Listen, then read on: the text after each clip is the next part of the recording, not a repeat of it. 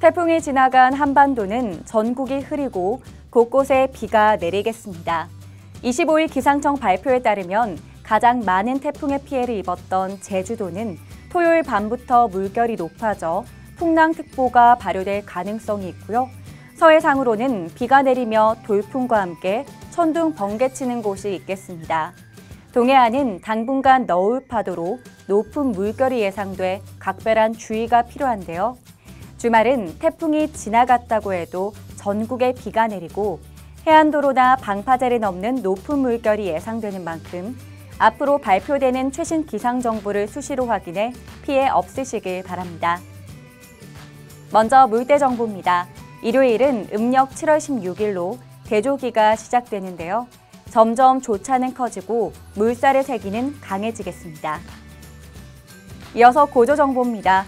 서해안 평택은 04시 47분 863cm, 남해안 부산은 20시 45분 130cm의 고조를 보입니다.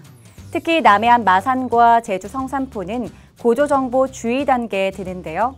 해당 시간에 침수 피해 없도록 주의하시기 바랍니다. 다음은 공구시 기준 파고와 수온 정보입니다. 물결은 서해상이 최고 1m, 남해 먼바다가 1.5m, 동해상이 1.8m까지 일겠는데요. 그중 제주가 2.3m까지 일면서 가장 높을 것으로 보입니다. 수온은 작년 이맘때와 비슷하거나 높겠습니다. 이어서 조류 정보입니다. 무의도는 19시 50분경 1.3노트의 세기로 반시계 방향으로 흐르겠습니다. 다음은 항만 해양지수입니다.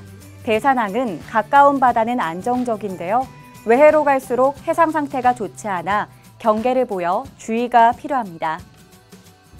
마지막으로 해도 번호 3484인 군산항 부근의 해도가 개정되어 간행되었습니다. 입주랑 선박은 참고하시기 바랍니다. 지금까지 내일의 바다정보였습니다.